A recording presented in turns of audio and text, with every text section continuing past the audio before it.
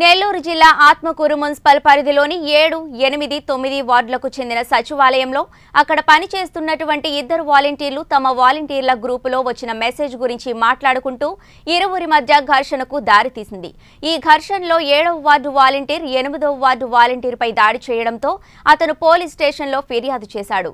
వైద్యం కోసం హాస్పిటల్లో చేరారు. నా పేరు హరీష్. ఎనిమిదవ వార్డు వాలంటీర్ని ప్రతి సచివాలయంలో సంక్షేమ పథకాలు అభివృద్ధి చెందాలని ఫిర్యాదుల బాక్స్ పెడితే కూడా చాలా బాగుంటుంది అని నా అభిప్రాయాన్ని అఫీషియల్ గ్రూప్లో పోస్ట్ పెట్టాను. దానికి ప్రతి ఒక్కరూ కూడా మంచిది అని మంచి హృదయంతో రెస్పాండ్ అయ్యారు. కానీ ఏడవ వార్డు వాలంటీర్ కాదర భాష.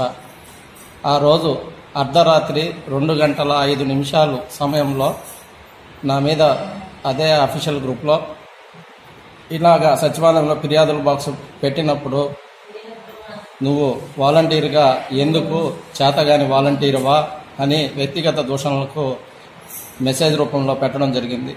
దానిని అడగాలని నేను చాలా రోజుల నుంచి సచివాలయంకి వెళ్తూ వస్తున్నా కానీ అతను కనిపించలేదు.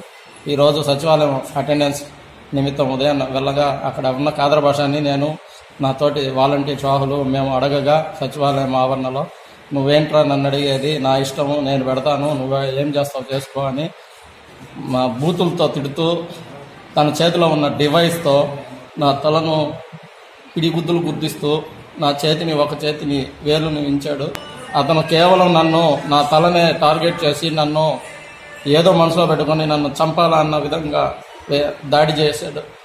ఈ దాడిని ప్రతి ఒక్క వాలంటీర్ కూడా ఖండించాలి. సచివాలయంలోని ఉద్యోగస్తులతో కూడా చిత్కరించినట్టు మాట్లాడడము.